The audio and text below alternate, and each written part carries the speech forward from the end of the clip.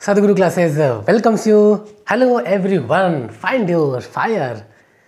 So let's start. I am Shubham Mishra और आज हम क्लास नाइन्थ का लेक्चर नंबर टू देखेंगे जहाँ पे आज हम इफ़ेक्ट ऑफ़ टम्परेचर देखेंगे कैसे वो फेस चेंज करने में स्टेट चेंज करने में कैसे टम्परेचर का रोल प्ले करता है अभी तक हमने स्टेट्स ऑफ़ मैटर देख लिया वहाँ पे हमने देखा कि मैटर क्या होता है मैटर पार्टिकल का बना होता है पार्टिकल की जो प्रॉपर्टीज़ होती हैं चार वो हमने चारों प्रॉपर्टी देखा और चारों प्रॉपर्टी का विद एग्जांपल हमने एक्सप्लेनेशन भी देख लिया था है ना? फिर हमने आ, तीनों स्टेट यानी सॉलिड लिक्विड गैस इनका एक कंपेरेटिव स्ट्रक्चर देखा था कैसे इसको हम कंपेरेटिव लिखते हैं और आपके एन में जो तीन एग्ज़ाम्पल दिया गया है सॉलिड के लिए क्वेश्चन दिया गया है उसको भी हमने एक्सप्लेन किया था ना कैसे स्पॉन्ज क्यों सॉलिड होता है रबड़ क्यों सॉलिड होता है जबकि सॉलिड के लिए कंडीशन है कि सेप फिक्स होता है है ना? लेकिन रबड़ और ये, अगर आप उसको स्ट्रेच करो तो शेप चेंज करता है। स्पॉन्ज भी कंप्रेस कर दो तब भी शेप चेंज कर देता है। तो आखिर वो कैसे सॉलिड हुआ? तो हमने बताया था ना कि सॉलिड की एक प्रॉपर्टी और होती है कि जब आप एक्सटर्नल फोर्स जो लगाए हैं उसको जैसे ही आप हटाएँगे तो वो अपना शेप रीगेन कर लेगा। ये एक खास क्वालिटी होती है सॉलिड के अंदर। इस नाते से स्पॉन्ज को भी हमने सॉलिड के अंदर लाया था, है ना? और फिर हमने प्लाज्मा और बीईसी जो दो नए स्टेट्स ऑफ़ मैटर जुड़े हैं, उनको भी हमने डिस्कस किया था। प्लाज्मा क्या होता है? सिंपली बहुत एक्सट्रीम हॉट कंडीशन का होता है वो। और बीईसी वो एक्सट्रीम कोल्ड कंडीशन का होता है है ना? मेन मेन दोनों का अंदर था, बाकी हमने वहाँ पे एक्सप्लेनेशन देख लिया था। आप वहाँ लेक्चर नंबर वन जा करके देख सकते हैं, ठीक है ना? आज जो हमको देखना है कि जैसे हम आपसे कहें कि क्या मैटर अपने फेस को चेंज कर सकता है तो आपका जवाब होगा हाँ चेंज कर सकता है। क्यों? क्योंकि आप देखते भी हैं सॉलिड लिक्विड में कन्वर्ट होता है लिक्विड गैस में कन्वर्ट होता है। जैसे आइस आइस को आप गर्म करेंगे तो वो पहले वाटर बनेगा, फिर वाटर वेपर में कन्वर्ट होता है। कैसे हुआ? हीटिंग से। हीटिंग क्या है? टम्परेचर है। ठीक है ना? आप हेडिंग डालें कि can change in state of matter तो बताओ भाई चेंज स्टेट ऑफ़ मैटर बिल्कुल पॉसिबल है। क्या क्या कंडीशन है? पहला तो भाई चेंजिंग टम्परेचर इफ़ेक्ट ऑफ़ या कहो आप effect of change of temperature जो भी आप कह लें। ठीक है ना? टम्परेचर क्या हो सकता है? तो टम्परेचर आप बढ़ाओ। या फिर आप टम्परेचर डिक्रीज करिए अगर आपने टम्परेचर इंक्रीज़ किया तो ये क्या हुआ? हीटिंग हुआ। ठीक है ना बच्चों? और अगर टेम्परेचर डिक्रीज़ किया आपने तो ये कूलिंग हुआ। अब देखना आप हीटिंग और कूलिंग से कैसे फेस चेंज हो रहा है। अभी आपको दिखाते हैं। देखिए, अगर सपोज़ करो आपने, हमने ये लिया सॉलिड लिया। ठीक? फिर सॉलिड और फिर यहाँ हमने लिक्विड लिया। सॉलिड से लिक्विड बना, लिक्विड से गैस बना, ठीक है? आप ये सपोज़ कर लो सॉलिड क्या है? आइस है। ओके बच्चों, लिक्विड क्या है? वाटर है। और गैस क्या है? वाटर के वेपर है। ठीक, इतना हो गया। अब हमारा ये कहना है कि ये कैसे होगा? जब आप सॉलिड को लिक्विड में और लिक्विड को गैस में कन्वर्ट कर रहे हैं, ये प्रोसेस कैसे होगा? टेम्परेचर, देखो हमने क्या, टेम्परेचर चेंज में दो कंडीशन है, या तो इंक्रीज करके या डिक्रीज करके। तो अब देखो अब आपको क्या है? सॉलिड से लिक्विड क्या हो रहा है? फेस चेंज हो रहा है। लिक्विड से गैस ये भी फेस चेंज हो रहा है। हमारा टॉपिक भी क्या है? स्टेट ऑफ़ मैटर का चेंज इन फ़ेज़ ठीक है ना? कैसे वो चेंज करते हो? देखो आप सॉलिड से लिक्विड जाने के लिए क्या करना पड़ेगा? इसको हीट करना पड़ेगा। यानी कि टेम्परेचर क्या हुआ? इंक्रीज लिक्विड से गैस के लिए भी क्या करना पड़ेगा? हीट करना पड़ेगा। बस समझ में आया? तो आपने देखा ना टेम्परेचर का दोनों रोल है। एक बार टेम्परेचर इंक्रीज और एक बार टेम्परेचर डिक्रीज अब आप यहाँ से आओ, उल्टा आओ। तो क्या कहोगे आप उल्टे के लिए? गैस को आपको लिक्विड करना है तो क्या करेंगे आप? यहाँ तो हीट करेंगे हीट करेंगे तो और उड़ जाएगा पूरा ये। गैस को लिक्विड करना है तो कंडेंस करना, यानी कि आप इसको कूल करेंगे। यहाँ भी क्या करेंगे? लिक्विड को सॉलिड करने के लिए कूलिंग करना पड़ेगा, यानी कि temperature less temperature less sorry है सॉलिड से लिक्विड लिक्विड से गैस के लिए हीट यानी कि आपने देखा कि दोनों कंडीशन में चाहे आप सॉलिड से गैस की तरफ़ जा रहे हो फेस चेंज हो रहा है, वहाँ भी स्टेट का स्टेट ऑफ़ मैटर का, वहाँ आपने टेम्परेचर बढ़ाया। देखिए टेम्परेचर इंक्रीज और जब आप उल्टा आ रहे हो, यानी कि गैस से सॉलिड की तरफ़ आ रहे हो तो वहाँ पे आपको टेम्परेचर डिक्रीज़ करना है, यानी कि कूलिंग करना है, ठीक है ना? तो हमारा टॉपिक था कि क्या फेस चेंज कर सकता है स्टेट ऑफ़ मैटर बिल्कुल कर सकता है भाई। दो कंडीशन है। पहला है टेम्परेचर चेंज करके, दूसरा आएगा प्रेशर चेंज करके, ठीक है ना? टेम्परेचर हमने देख लिया, या तो हीटिंग होगा, या फिर कूलिंग होगा। ओके बच्चों? अब अच्छा आपने ये देख लिया, अब ये ये यहाँ पे एक कंडीशन और आता है जो आप सब्लिमेशन पढ़ते हैं सब्लिमेशन सब लोग जानते ही हैं।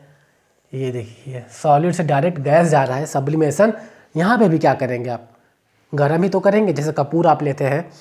कपूर क्या होता है, आप जब कपूर जलाते हैं तो डायरेक्ट सॉलिड से गैस में कन्वर्ट होता है। आपने क्या किया टेम्परेचर को बढ़ाया वहाँ पे? यानी कि सॉलिड से डायरेक्ट गैस में जाने में भी हमको क्या करना है टेम्परेचर इंक्रीज ही करना है, यानी कि हीटिंग करना है। बस समझ में आ गया ये इतना? टेम्परेचर इंक्रीज का भी रोल और टेम्परेचर डिक्रीज का भी रोल हो गया। अच्छा एक ये तो आपका, ये भी एन e का डायग्राम है। एक एन e में और अच्छा डायग्राम बना हुआ है। जब प्रेशर चेंज में देखते हैं हम, वहाँ क्या आता है? उन्होंने एक मतलब पूरा प्रोसेस बताया है कि जब सॉलिड से लिक्विड कन्वर्ट होना लिक्विड से गैस का कन्वर्ट होना गैस से सॉलिड का कन्वर्ट होना इनवर्स भी इन सब का। इस प्रोसेस को क्या बोलते हैं हम? तो आइए इस प्रोसेस को हम लिखते हैं पूरा एक बार फिर से आपके लिए। जैसे आप सपोज़ करें,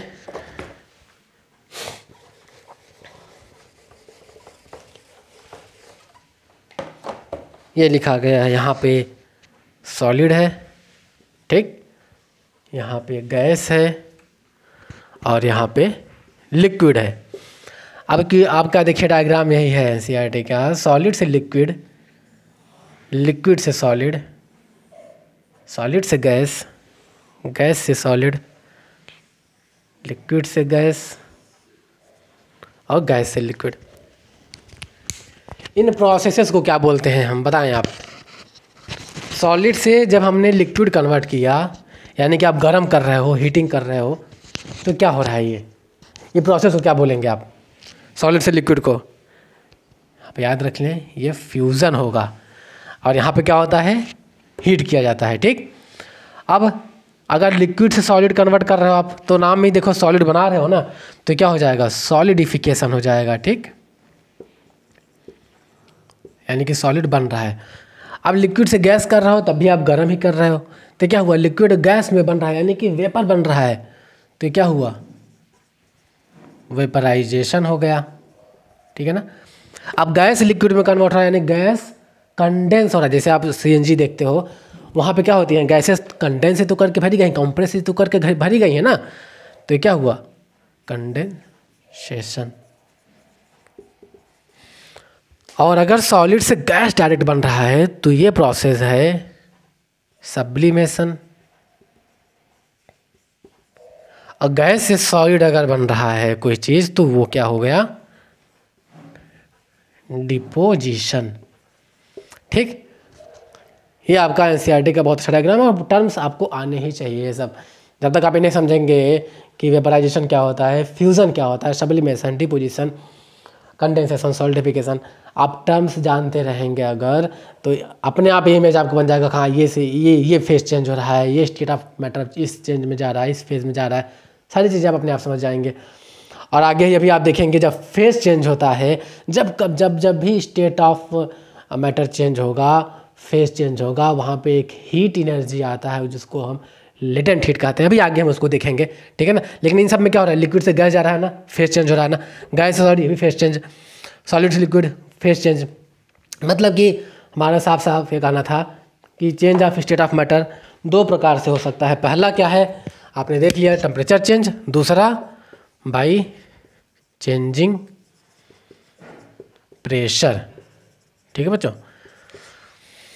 तो टेम्परेचर में आपने दिखा दिया टेम्परेचर बढ़ा करके या घटा करके प्रेशर भी बढ़ा करके या घटा करके, ठीक? तो अब आइए, आपने इसके पहले वाला डायग्राम जो हमने सॉलिड लिक्विड गैस दिखाया था हीट वाला और कूल वाला, वो वाला हो गया। एक डायग्राम ये आपका बहुत इंपॉर्टेंट है। इसको बनाइए, फिर आगे वाला हम प्रोसेस बढ़ाते हैं। अब आप कुछ एग्जांपल याद रख लें, जैसे हमने कहा ना सब्लिमेशन वगैरह में क्या होता है, आपने कपूर लिया, जला दिया, तुरंत जल गया। और और जैसे एंथ्रासीन होता है नेपथिलिन बॉल्स होते हैं नेपथिलिन बॉल्स आप तो जानते भी हो। जैसे बेसिन वगैरह में रखा जाता है और कपड़ों को बचाने के लिए जब रखा जाता है तो वहाँ पर आप देखते हैं, कुछ टाइम बाद नेफ्लिन का बॉल गायब हो जाता है है ना? जबकि कहीं पानी नहीं रहता है, यानी कि नेपथिलीन बॉल तो सॉलिड है, वो सॉलिड डायरेक्टली गैस में चेंज हो जाता है जब आप कपड़े निकालते हो थोड़ी थोड़ी इसकी स्मेल भी आती है नेपथिलीन बॉल की, ना? तो क्यों? वहाँ पे कभी कोई लिक्विड तो लगा नहीं था आपके कपड़े पे। डायरेक्ट वो गैस में चेंज हुआ है, आपका कपड़ा बचा रहा गया था। है ना? तो आप कह सकते हो कि जो कैम्फर है नैपथिलीन है एंथ्रासिन है, ये सारी चीज़ें डायरेक्ट सॉलिड से गैस में कन्वर्ट होती हैं। यानी कि सब्लिमेशन का एग्ज़ाम्पल है वो सब। ठीक है ना? अब आगे इसको लिखिए फिर आगे हम बढ़ते हैं। जैसे हमने अभी आपसे जो डायग्राम बनाया था सॉलिड से लिक्विड जाना लिक्विड से गैस में जाना, सब में जो टम्परेचर का रोल आया था आइस जैसे हम हमने कहा आइस हुआ आइस से आपका बना था वाटर, और वाटर से बना आपका वाटर वेपर। यानी कि क्या था? सॉलिड लिक्विड गैस ना? यहाँ पे आपने क्या लगाया? हीटिंग लगाया। अभी हमने बनाया था इसको ना हीटिंग। यहाँ भी आपने क्या किया? हीटिंग किया। आखिर ये हीटिंग से हो क्या रहा है? कैसे फेस चेंज हो गया?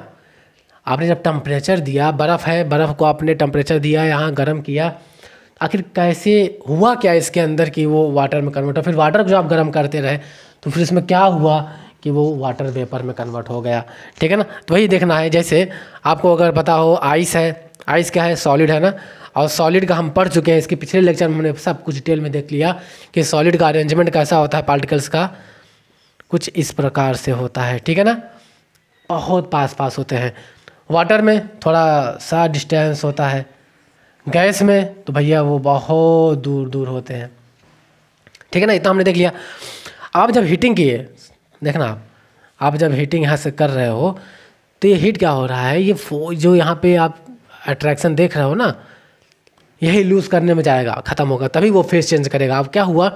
जब आपने इसको टम्परेचर बढ़ाया, यानी कि टेम्परेचर दिया तो इसका मोशन बढ़ता है। ठीक? अब आपको याद होगा, हम जब फ़र्स्ट लेक्चर बोल रहे थे तो हमने कहा था कि जो आपके चार प्रॉपर्टी चार प्रॉपर्टी हमने बताया आपको कि वेरी स्मॉल होते हैं स्पेस होता है बीच में मोशन करते रहते हैं अट्रैक्ट होते हैं अट्रैक्ट करते हैं चार प्रॉपर्टी सॉलिड लिक्विड गैस कुछ भी हो, हर जगह होगा। आपको लगता होगा भाई ये मार्कर है सॉलिड है, इसके पार्टिकल्स कहाँ मूव कर रहे हैं? लगता है कि नहीं? लेकिन अब हमने यही कहा ना, आपसे आइस आइस भी तो सॉलिड है, वो भी पार्टिकल का बना है छोटे छोटे पार्टिकल का। अब पार्टिकल कैसे मूव कर रहे होंगे? आप जब गर्मी दे रहे हो हीट कर रहे हो, यहाँ से टेम्परेचर बढ़ा रहे हो पार्टिकल्स कैसे मूव कर रहे हैं? वो दिख थोड़ी ना घूम रहे हैं। गैस में तो दिखता है, आप गैस खोल ही दो, तभी पूरा फैल जाता है तो मूव कर रहे हैं, समझ में आ रहा है। आइस तो अपनी जगह फिक्स है तो कहाँ वो मूव कर रहा है? तो हमने आपको वहाँ पे वर्ड यूज़ किया था कि जो सॉलिड्स का मूवमेंट होता है, वो वाइब्रेशन के फॉर्म में होता है। तो आप यहाँ क्या कहोगे? टेम्परेचर जब आपने बढ़ाया तो मोशन बढ़ाओ। यहाँ मोशन सॉलिड के केस में मोशन क्या होता है? मैं यहाँ लिख देता हूँ। आइस में। आइस में मोशन कैसा होता है? किस फॉर्म में? आप बताओगे वाइब्रेशन के फॉर्म में होता है, ठीक है? इसीलिए हमने वहाँ पे ये टर्म यूज़ कर दिया कि आप उसको जानते रहो। ठीक मोशन बढ़ गया टेम्परेचर बढ़ाया आपने मोशन बढ़ा। अब मोशन बढ़ने से क्या होगा? क्योंकि करंटिंग एनर्जी करंटिंग एनर्जी मतलब क्या होता है? जब भी कभी कोई चीज़ मोशन कर रहा हो मूव कर रहा हो तो वहाँ पे जो भी इसकी एनर्जी एसोसिएटेड होती है, जुड़ी होती है, वो करंटिंग एनर्जी होती है। क्योंकि यहाँ भी तो मोशन से ही रिलेटेड है ना? तो मतलब काइनेटिक एनर्जी बढ़ेगा। अगर काइनेटिक एनर्जी बढ़ेगा तो ये क्या होंगे? पार्टिकल्स क्या करेंगे? दूर जाना चाहेंगे मूव करना चाहेंगे। फिर भी आप टेम्परेचर दिए जा रहे हैं, यानी कि टेम्परेचर दिए जा रहे हैं मोशन बढ़ता जा रहा है कंटिक एनर्जी बढ़ती जा रही है कंटिक एनर्जी बढ़ती जा रही है।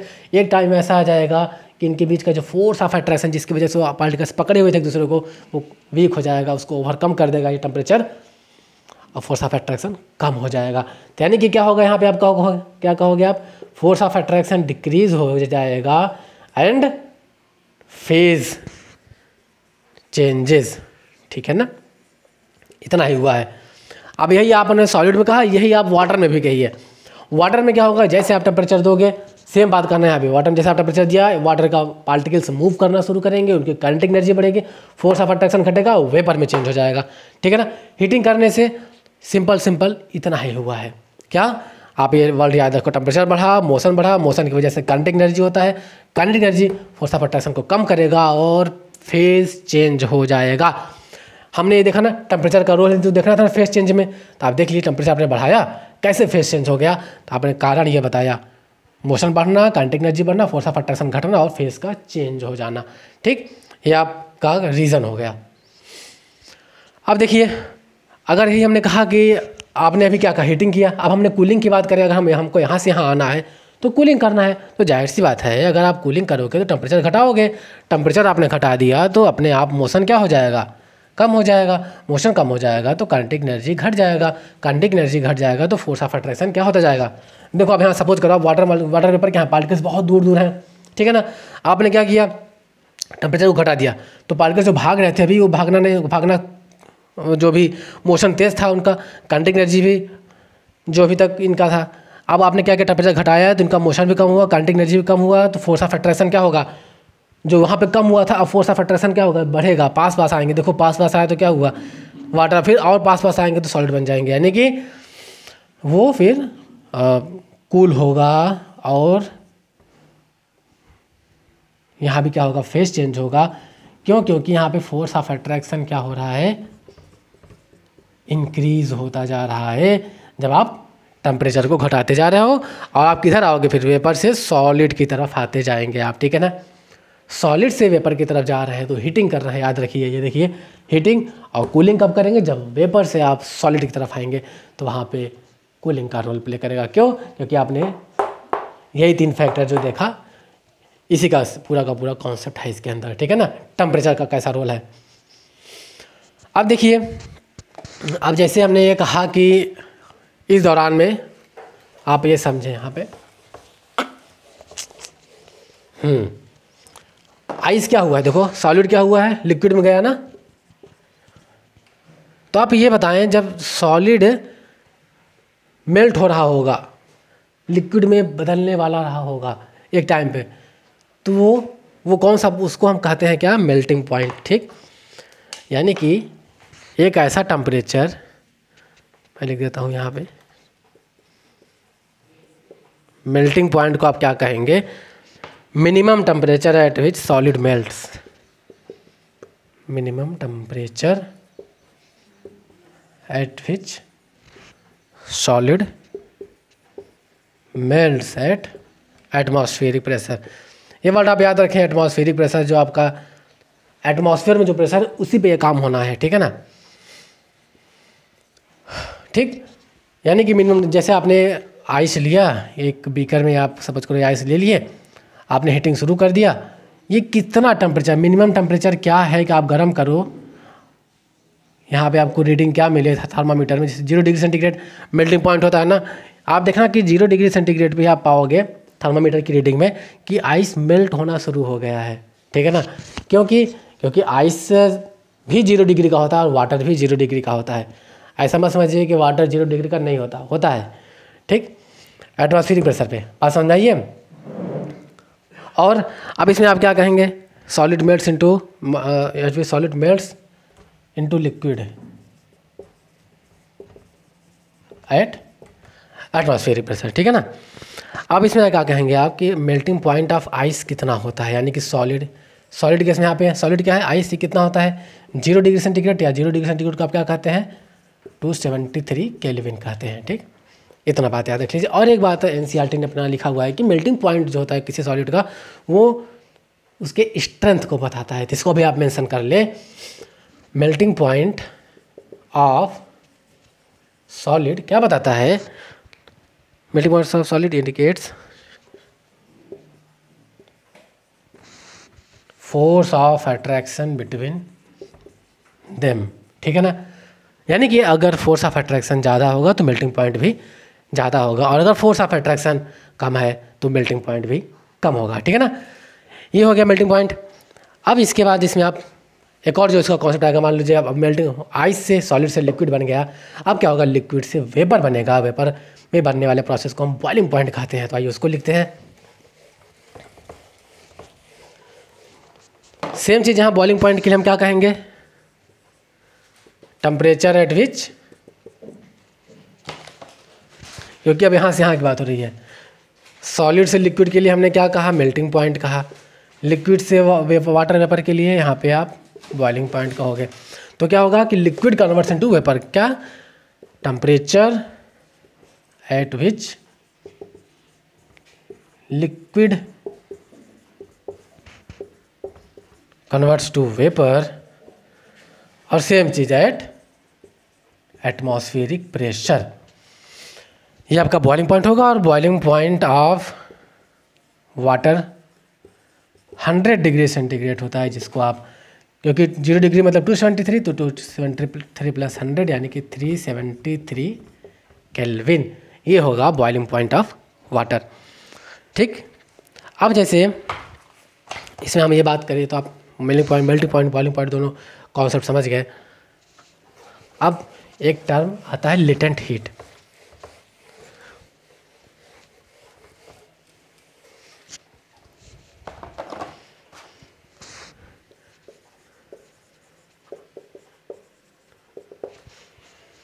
लेटेंट हीट क्या होता है? सिंपली सिंपल वर्ड्स में आपको बताएँ लेटेंट मतलब होता है हिडन मतलब in the heat which is in the hidden form hidden form में कैसे है? जैसे हम आपको बता दें कि एक बीकर बीकर में हमने आइस के पार्टिकल्स ले लिया। ये देखिए आप आइस के पार्टिकल्स और यहाँ पे एक थर्मामीटर आप लगा दें। रीडिंग मेजर करने के लिए, ठीक? और यहाँ से इसको हीटिंग करिए। हमने यहाँ से फ्लेम लगा दिया हीट हो रहा है। अब हमने क्या किया, जब हम हीट कर रहे हैं आइस को, हमने पाया कि पहले आइस माइनस का रहा होगा, यानी कि मान लो सपोज़ करो माइनस फाइव डिग्री सेंटीग्रेड पे। आइस पहले माइनस फाइव डिग्री सेंटीग्रेड पे था, फिर इसके बाद माइनस टू हुआ, फिर इसके बाद एक समय आएगा ज़ीरो डिग्री सेंटीग्रेड आइस का हो जाएगा। यानी कि माइनस से ज़ीरो डिग्री पहुँचा। जब ज़ीरो डिग्री पहुँच गया आइस, यानी कि यहाँ से तो माइनस रहेगा, फिर जैसे आप सपोज़ करो यहाँ ज़ीरो डिग्री, हमने एक रीडिंग बना दिया। ज़ीरो डिग्री जैसे आया, यानी कि यही क्या हुआ? Melting point of ice. तो आप क्या पाएँगे? जैसे ही थर्मामीटर पर रीडिंग ज़ीरो डिग्री मिल जाएगा, आइस, आपने आइस लगाया थर्मामीटर? यहाँ जैसे ज़ीरो डिग्री थर्मामीटर पर रीडिंग आया तो आप देखेंगे आइस मेल्ट होना शुरू हो जाएगा। ठीक है ना? अब इसके बाद एक बार जब ये आइस मेल्ट होना शुरू हो गया ज़ीरो डिग्री पे, अभी आपने क्या किया? एक बर्नर लगाया। एक बर्नर से आपने देखा कि ज़ीरो डिग्री आया और आइस मेल्ट होना शुरू कर दिया। इस टाइम पे आप एक नहीं, अगर आप दस बर्नर भी लगा दो इसके नीचे, यहाँ पे दस नहीं, बीस नहीं, कितने भी बर्नर लगा दीजिए, वो सारा का सारा बर्नर की जो हीट होगी, क्या होगा? आइस एब्जॉर्ब करेगा। आप फिर जब भी आप टच करेंगे, यहाँ देखेंगे आपकी रीडिंग ज़ीरो डिग्री ज़्यादा नहीं जाएगी। आप कितना यहाँ पे आप सौ बर्नर लगा दीजिए, हम ये करें। हंड्रेड बर्नर लगा दीजिए, तब भी आप आएँगे कि रीडिंग ज़ीरो डिग्री ही आ रही है, नहीं बढ़ रहा है। आपको लग रहा होगा ना कि हम एक बर्नर लगाए थे, हम अगर दस बर्नर लगा रहे हैं बीस बर्नर तो यहाँ पर रीडिंग बढ़नी चाहिए थी। ज़ीरो डिग्री से बढ़ना चाहिए था, लेकिन नहीं बढ़ेगा। क्यों? वही कारण है हिडन हिडन वर्ड समझ में आया ना हिडन हिट यानी कि लेटेंट हीट का कॉन्सेप्ट यहाँ पे प्ले रोल प्ले करता है अपना। अब ये क्या है? जब आपने हीट एनर्जी दिया, एक नहीं सौ मैं बोल रहा हूँ सौ बर्नर आपने लगा दिया सौ बर्नर का जो हीट जा रहा है, सारा सारा हीट कहाँ जा रहा है? आप यहाँ मेंशन करें कि जो हीट आप दे रहे हैं हीट गिवेन ये क्या हो रहा है? आइस एब्जॉर्ब कर रहा है। ये सिस्टम की एनर्जी नहीं बढ़ा रहा है कि टेम्परेचर बढ़ा रहा हो रीडिंग ज़ीरो से बढ़ता जा रहा हो जब तक। ये कब तक होगा? जब तक कि last particle of ice water में ना कन्वर्ट हो जाए। जब तक आइस कन्वर्ट होता रहेगा वाटर में, तब तक आप पाएँगे कि रीडिंग ज़ीरो ही डिग्री आएगा। कितना भी बर्नर आप लगा दीजिए, कोई फ़र्क नहीं पड़ेगा। क्यों? क्योंकि हिडन हीट है वो। ठीक है ना? अब ही हुआ हुआ क्या? जब हीट आपने दिया heat given is absorbed by ice particle ठीक? आइस पार्टिकल एब्जॉर्ब कर रहा है और कर क्या रहा है? Ice particle to overcome force of attraction between them to change into किसमें चेंज होगा? वाटर में। ठीक है ना? ये तो बात समझ में आ गया। अब जब एक बार पूरा, जब एक कंडीशन ऐसा आ गया सपोज़ करो पूरा का पूरा आइस हम हम यहाँ दिखा देते हैं आप सेकंड रीडिंग सपोज़ करो, आपने यहाँ पे बर्नर लगाया था, गर्म हो रहा है, ये ज़ीरो डिग्री तब तक आएगा आपको रीडिंग यहाँ पे, जब तक कि पूरा का पूरा आइस वाटर में ना कन्वर्ट हो जाए। अब हमने कंडीशन सपोज़ किया, चलिए। पूरा का पूरा आइस जो ये था अब ये वाटर में कन्वर्ट हो चुका है, ठीक? और आपका ये थर्मामीटर अभी भी यहाँ पे लगा ही हुआ है।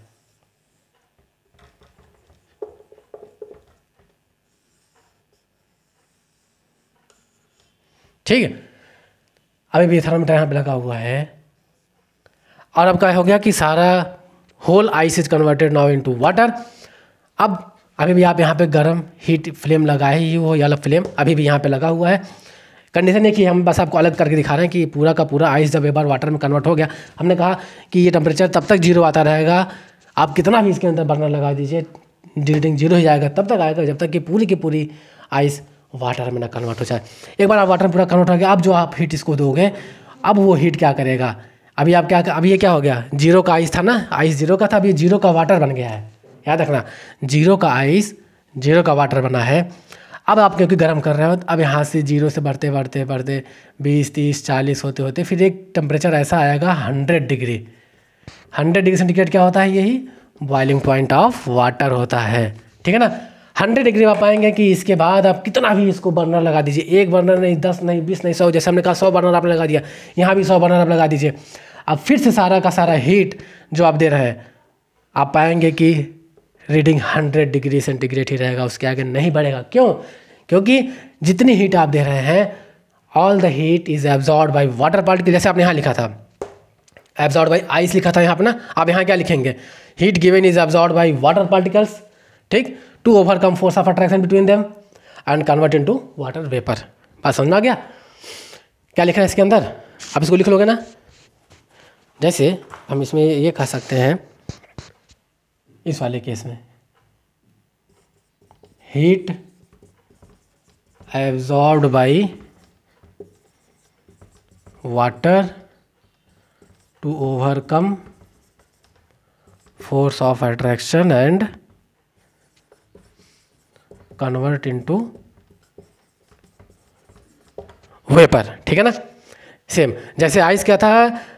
पूरा का पूरा हीट आइस एब्जॉर्ब कर रहा था। एक बार जब मेल्टिंग पॉइंट आ गया ज़ीरो डिग्री आ गया, और वो कन्वर्ट पूरा हीट एब्जॉर्ब किया फोर्स ऑफ़ एट्रैक्शन को ओवरकम करने के लिए ताकि, क्योंकि हमने देखा ना आइस में क्या होता है, ये इस प्रकार से है। फोर्स ऑफ़ एट्रैक्शन कमज़ोर होगा तो ये दूर दूर होंगे और लिक्विड में जाएगा। और लिक्विड एक बार बन गया, अब लिक्विड क्या करेगा, जब फिर से आप इसको हीट कर रहे हो, यहाँ आपने हीट किया, यहाँ भी आप फिर से हीट कर रहे हैं तो फिर से अपने फोर्स ऑफ़ अट्रैक्शन कम करेगा और पार्टिकल दूर दूर होंगे और एक गैस में कन्वर्ट होगा। देखिए आप सॉलिड से क्या हुआ? लिक्विड बना। फिर आप गर्म कर रहे हो तो ये हंड्रेड डिग्री पहुँचने के बाद, अब टेम्परेचर नहीं बढ़ेगा, कब तक नहीं बढ़ेगा? जब तक कि पूरा का पूरा वाटर एक last particle of the water भी जब तक कन्वर्ट ना हो जाए वेपर में तब तक हंड्रेड डिग्री से ही टेम्परेचर रहेगा। अब सोचो, इसी में एन ने आपका देखिए इसको बताने के बाद एन ने बहुत अच्छा सा क्वेश्चन पूछा है आपसे कि अगर हम सॉलिड आइस और वाटर का कंपेयर करें तो किसकी एनर्जी ज़्यादा होगी?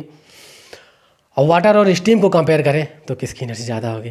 तो आइए उस चीज़ को हम देखते हैं, है ना? तो आप यहाँ पे आप कह लेंगे ना वेर इज़ हीट एनर्जी कहाँ जा रहा है? लेटेंट हीट में। तो आप कहेंगे heat energy is absorbed by ice का पार्टिकल या वाटर का particle to overcome force of attraction ठीक? And convert into ice है तो वाटर में वाटर है तो वेपर में ओके अब इसके बाद आप ये देखें कि अगर हमने सपोज़ करो, एक बार क्या था? ज़ीरो डिग्री का आइस था और ज़ीरो डिग्री का वाटर था, ठीक? हमने जो डायग्राम बनाया अभी, दोनों ही तो था उसके अंदर ना ज़ीरो डिग्री का आइस और ज़ीरो डिग्री का वाटर था। अब हम आपसे पूछ रहे हैं किसकी एनर्जी ज़्यादा होगा? तो आप क्या बताएँगे कि आइस में तो हमने क्या किया? पहले हीट किया। आइस ने क्या किया? हीट गेन किया। तब जा कर के वो वाटर बना है यानी कि किसकी एनर्जी ज़्यादा होगा? वाटर का। ठीक? Has more energy in form of किसके? सॉलिड से लिक्विड कन्वर्ट होना क्या बोलते हैं? फ्यूजन बोलते हैं। In form of latent heat of fusion और एक बार अब क्या हुआ था? आइस वाटर और वेपर की बात करें।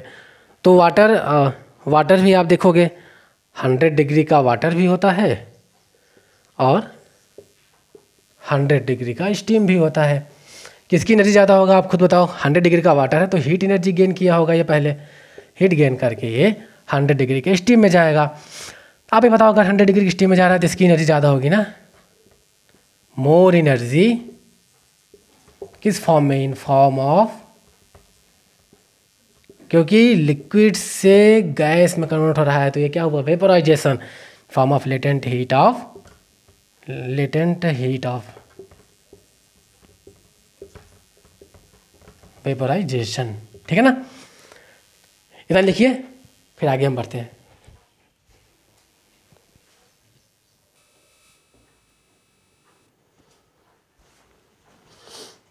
हाँ सो लेट्स स्टार्ट आगे आपने क्या देख लिया?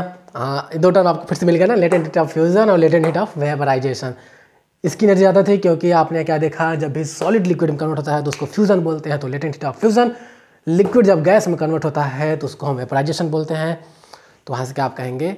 लेटेंट हीट ऑफ़ वेपराइजेशन के फॉर्म में इसके पास एनर्जी ज़्यादा है। तभी तो आप देखो ना स्टीम वगैरह से इंजन चलाते थे मशीन आज आज भी देखो कहीं कहीं शिप वगैरह से चलती हैं स्टीम से चलती हैं क्योंकि इनके पास बहुत एनर्जी है।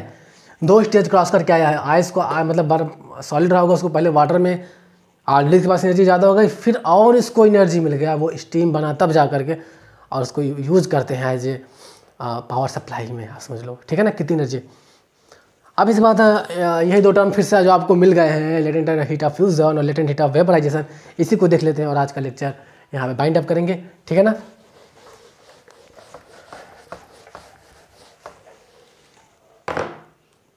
फ्यूज़न और वेपराइजेशन देखें आप भाई। हमने कहा कि अगर लेटेंट हीट ऑफ़ फ्यूज़न की बात करें, इसको आप क्या कहेंगे? फ्यूज़न का मतलब सॉलिड से लिक्विड में कन्वर्ट होना है। एक बात याद रख लें कि लेटेंट हीट के लिए आप याद रख लें टर्म यूज़ होगा, वो एक किलो का ए वन के के लिए यूज़ होगा। यानी कि आप यहाँ क्या कहेंगे? Amount of heat energy required by one K G of solid यहाँ पे क्या कहेंगे? फ्यूज़न मतलब सॉलिड से लिक्विड यानी कि अमाउंट ऑफ़ एनर्जी जो रिक्वायर कर रहा है solid required by one K G solid और यहाँ सॉलिड क्या है? आइस है, ठीक? टू कन्वर्ट वन याद रखना है वन के जी वर्ड ज़रूर याद रखना है। वन वन के जी ही चाहिए, ठीक? One K G solid ice to convert into liquid और यहाँ पे लिक्विड क्या है आपका? वाटर है, ठीक? यही को हम क्या कहते हैं? Latent heat of fusion okay बच्चों? और यहाँ पे क्या बात याद रखना है? एट एटमॉस्फेरिक प्रेशर, एक बात। और आपको पता है, जब भी सॉलिड लिक्विड में कन्वर्ट होगा, वो क्या होता है? फ्यूज़न। आपने फ्यूज़न वर्ड यूज़ कर लिया और साथ ही साथ मेल्टिंग कहा जाता है उसको। ठीक है ना? एंड एट मेल्टिंग पॉइंट ठीक है ना बच्चों? क्योंकि हमने देखा था, जब आपने सॉलिड लिया आइस लिया था, उसको लिक्विड में कन्वर्ट किया तो उसको आप फ्यूज़न कहते हैं। और लिक्विड को जब आप गैस में कन्वर्ट कर रहे थे, ये क्या था? वेपराइजेशन था। ठीक? यहाँ पे क्या होता है? मेल्टिंग होता है। इस प्रोसेस में आप देखो सॉलिड से लिक्विड जब कन्वर्ट हो रहा था आइस जब आप गर्म कर रहे थे तो हमने वहाँ पे क्या यूज़ किया था? Zero degree centigrade melting point use किया था।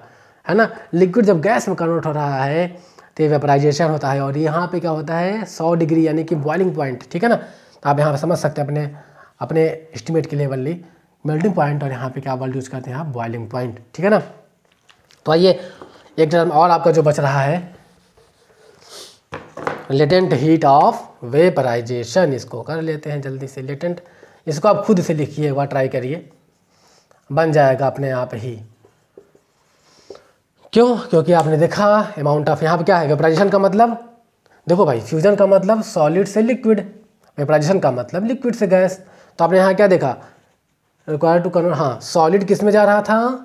लिक्विड में जा रहा था। तो यहाँ क्या होगा? लिक्विड गैस में जाएगा। चीज़ें वही रहेंगी। फ़र्क आपका यहाँ मेल्टिंग पॉइंट है या बॉइलिंग पॉइंट होगा। अभी हमने दिखाया आपको ना।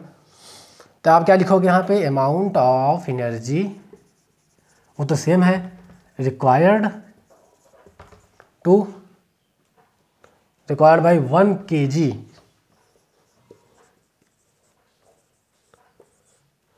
water यानी कि लिक्विड कोई भी।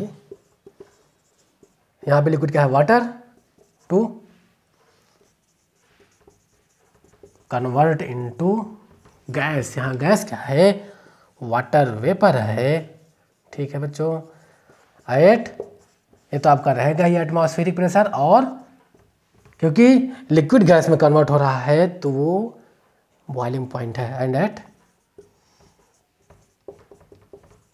बॉइलिंग पॉइंट ठीक है ना? इतना बात हो गया। क्लियर तो हो गया ये। आप यहाँ तक आपने देख लिया। इसके बाद आ, आगे हम आगे वाले लेक्चर में हम स्टार्ट करेंगे। कैसे आप प्रेशर का इफ़ेक्ट देखते हैं और जो उसमें छोटे मोटे टर्म्स बचे हैं वेपराइजेशन वगैरह देखेंगे। तो आज मैं आपने मेन मेन देखा कि टारगेट हमारा क्या था कि कैसे फ़ेज़ चेंज होने में हम कर सकते हैं टेम्परेचर और प्रेशर का मदद से ना? तो हमने देखा कि हाँ फ़ेज़ चेंज हो सकता है टेम्परेचर से कैसे। हमने देखा टेम्परेचर बढ़ा करके टेम्परेचर घटा करके। टेम्परेचर बढ़ाने से क्या हुआ था? मोशन बढ़ गया था, ना? सॉलिड का मोशन आप याद रख लो वाइब्रेशन के फॉर्म में होता है, वो पास पास वाइब्रेट करते हैं फोर्स ऑफ़ अट्रैक्शन कम हो जाता है। तो मेन मेन हम आपको बता दें कि जब भी टेम्परेचर की बात आए तो आप याद रखना टेम्परेचर बढ़ाएँगे तो मोशन बढ़ेगा तो काइनेटिक एनर्जी बढ़ेगा। काइनेटिक एनर्जी बढ़ेगा तो फोर्स ऑफ़ अट्रैक्शन कम हो जाएगा और फ़ेज़ चेंज हो जाएगा। और जब भी फ़ेज़ चेंज होता है, आप याद रखें, एक टर्म आता है, वहाँ पे हीट लेटेंट हीट, क्योंकि वो छुपी हुई एनर्जी है ही। हिडन रहता है। तभी आप कहते हो कि हिडन हीट कहते हो उसको आप ना।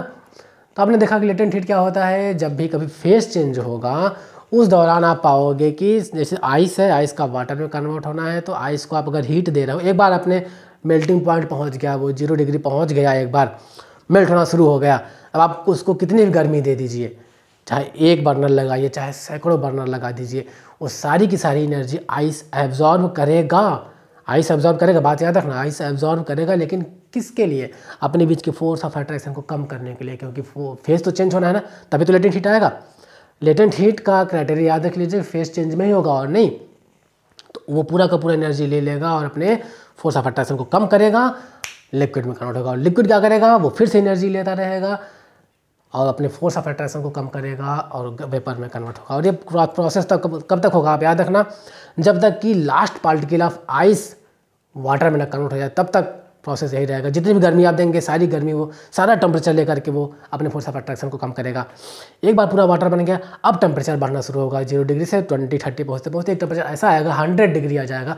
हंड्रेड डिग्री पर आप पाएँगे अब आप पानी को आप चाहे एक बर्नर से गर्म करिए चाहे आप सैकड़ों बर्नर लगा दीजिए।